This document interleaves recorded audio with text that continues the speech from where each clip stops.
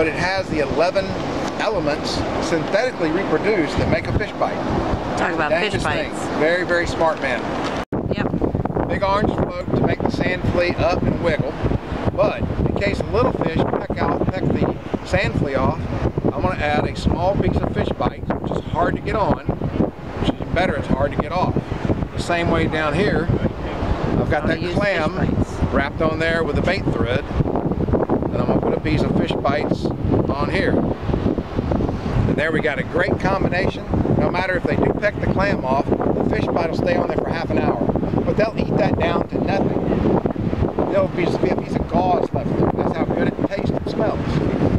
Does that product break down in the salt water over a period of time? Oh yeah, it's only good for about 30 minutes. And the warmer the water, the faster it dissolves. This works so good.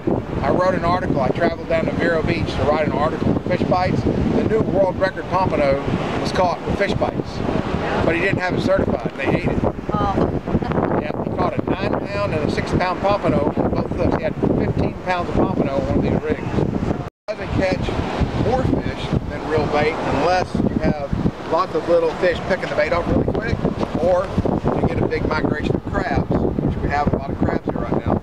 They'll eat the bait off and you won't even really see your rod wiggle. So fish bites. Go to the next hook and I've already got a couple pieces on there.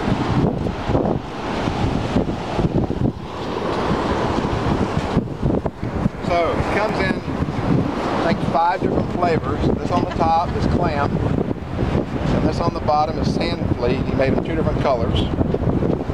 This stuff, like, it has actually saved a lot of guide trips and personal trips for me and Mark. That's why we want to send you home with a with a, a pack of it.